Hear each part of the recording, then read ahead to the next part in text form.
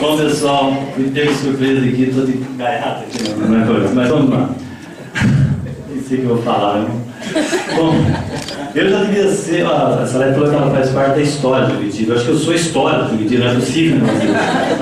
Os vereadores estudaram comigo. O prefeito estudou comigo. O advogado, que é advogado, estudaram comigo. Os professores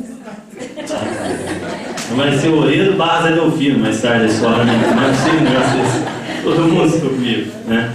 Mas, gente, eu vou ser bem franco com vocês. É, é um orgulho ser professor, sim. Pode ter certeza disso. Eu formei vocês desde criança, a maioria eram adolescentes quando estudaram comigo, hoje são profissionais exuberantes e bons, por isso não estariam aqui.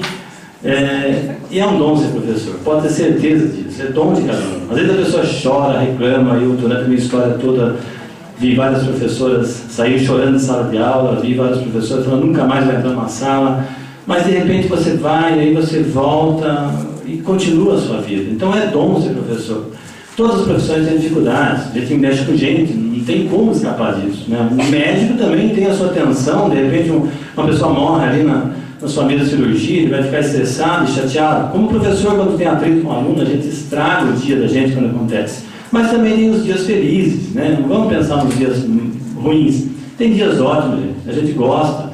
Quando um aluno, quando eu estou vendo aqui vocês que são formados e estudaram comigo, eu conheço, lembro, na mente vem quando era criança, quando estava numa sala de aula ali, brincando, e hoje estão aqui profissionais, vereadores, prefeitos, advogados, médicos que estudaram. Então é um dom, é um dom muito bom. Eu acho que não deve deixar. Eu às vezes falo até para alguns alunos, não seja professor, se você gosta, vá ser professor. Né? Tem muitos que falam, ah não, Zé Delfino, é muito complicado ser professor. É, gente, e está cada vez pior.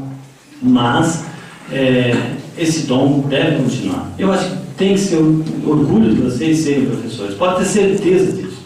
Tá? É duro, é difícil, mas é gratificante. Aí está aí a gratificação. Quando chega um aluno, um ex-aluno, e fala, ô professor, tudo bem? Saudades do senhor. E pode ter certeza, não é todo mundo que vai falar isso para vocês. Né? A gente não agrada a todos. Mas sempre tem pessoas de bom senso e profissionais ótimos que podem ter orgulho de ter sido seu aluno. Tá?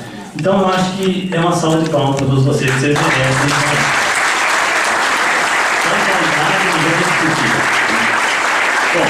É, eu aceitei vir aqui hoje. Para fazer uma homenagem à minha esposa, que foi assim, uma das maiores profissionais? Que eu conheci em toda a minha vida.